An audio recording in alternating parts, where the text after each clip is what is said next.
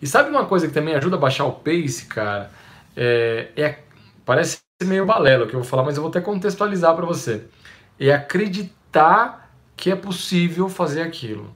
Outro dia eu vi um, eu vi uma palestra, na verdade, foi feito um estudo com três grupos de atletas. E aí, para o primeiro grupo desses atletas, falaram para esses atletas: Ó, oh, vocês vão tomar placebo. O segundo grupo é, orientaram eles que eles iam tomar 4,5 miligramas de cafeína. E aí o desempenho possivelmente ia melhorar, porque a cafeína ajuda a melhorar o desempenho e tal. Então, ministraram para esse segundo grupo 4,5 miligramas de cafeína.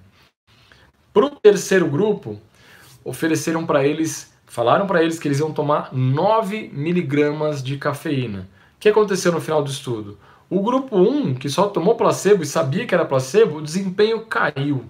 O grupo 2, que tomou 4,5 miligramas de cafeína, teve um desempenho um pouco acima da média. O terceiro grupo, que tomou 9 miligramas de cafeína, e falaram para eles que eles estavam tomando o dobro daquele outro grupo, o desempenho deles foi muito acima da média.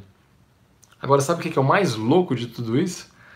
Os três grupos tomaram placebo, só que eles não sabiam que era placebo.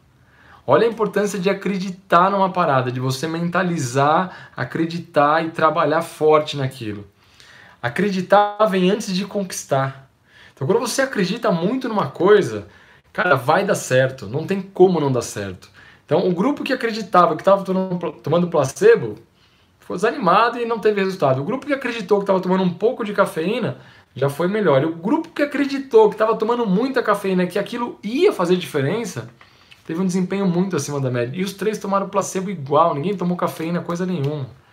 Então, assim, quando eu falo pro Luiz, cara, acredita que você vai atingir aquele resultado, não é para você ficar em casa olhando para o teto, acreditando, pensando, ah, um dia vai acontecer. Não, é trabalhar duro para aquilo, mas mentaliza aquilo que você quer.